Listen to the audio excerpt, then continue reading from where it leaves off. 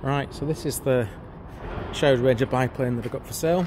Golf, Golf, Kilo, Foxtrot, Charlie. And two-seater. If you look on the Light Aircraft Company website, you'll see all the details for the, for the Ranger. Um, it's got a Jabiru 2200 um, engine. Um, I don't think it's a hydraulic lifter model, it's the model that's not got that. Um, obviously controls front and back, it's got ferry tank in it. Um, a bit hard to see. Wings are obviously folded. Um, it's filthy. It a wash. Probably I was gonna I was gonna reskin it in Oratex, but it's um, obviously not done so. She's very dusty. She's been in hangar here at Barton.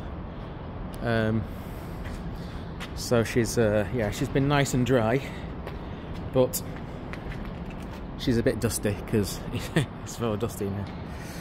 So that's it really. Um, she's intact. She's out of um, she's out of uh, permit. Obviously, um, there was uh, one of the fuel tanks is in the wing in the wing root basically, and um, there is a there is a leak.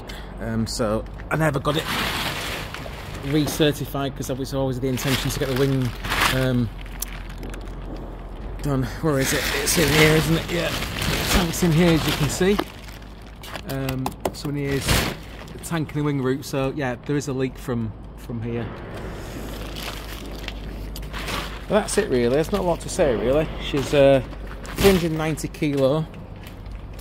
Um, so the the newer Rangers are I think 460 kilo microlight. She's actually a microlight classification. Um, so yeah, that's kind of it really. There's not a lot to say. She's a 390 kilo, like I say, microlight class Ranger. All the details is on the G info. If you have a look at that.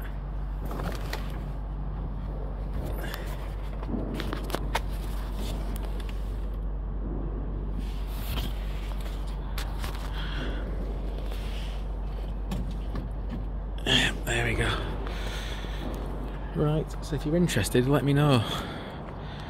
And um, probably other thing to mention, she's actually got a trailer, a custom built trailer, so you can actually take her to a different airfield, uh, keep her at home if you want. Cheap hangarage, keep her at home in the garage. She will fit in a garage, as you can see. She's quite narrow.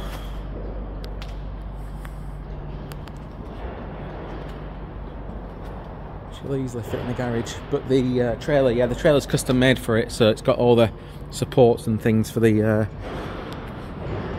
uh, for the wings. She's got these come off. These are the jury struts. Um, so uh, yeah, they just pop out, and then um, once you folded your wings, obviously your wings fold. Uh, this pin goes in, and then it just uh, just velcros down, so this won't lift up basically. And that's how that works. And uh, yeah, there you go. That's it. If you want to know any more, give me a shout. Cheers.